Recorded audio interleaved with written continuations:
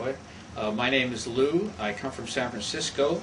Uh, before I left, I called a friend and asked her if she could give me the name of a tutor in Paris. I was going to spend a month here in Paris, and she gave me uh, Nicolas' name.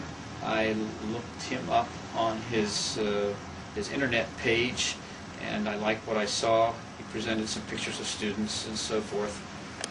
So uh, when I came, I talked to him, and I liked the idea of having a private lesson instead of going to a school where there's many people in the class at one time, uh, and you don't have the opportunity uh, to talk very much in the class.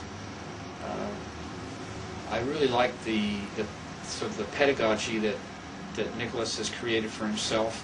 I think it's really unique. Uh, we sat face to face.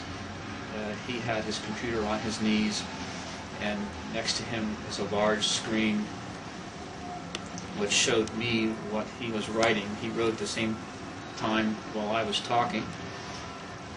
And uh, at the end of the lesson, I received a, a, a printout of what we discussed, the rules, the, the, the words, the vocabulary, whatever we happened to talk about. Um, so the very first lesson we talked about, I got to talk about myself, I guess, and the history of my uh, French studies and where I learned, and then we talked about the subjunctive uh, tense. Uh, Nicolas would ask me questions out loud, and then he would write the answers on the screen. Responses were were there, but I guess that the questions I could read them, and then he could show me the answer afterwards. Uh, we talked about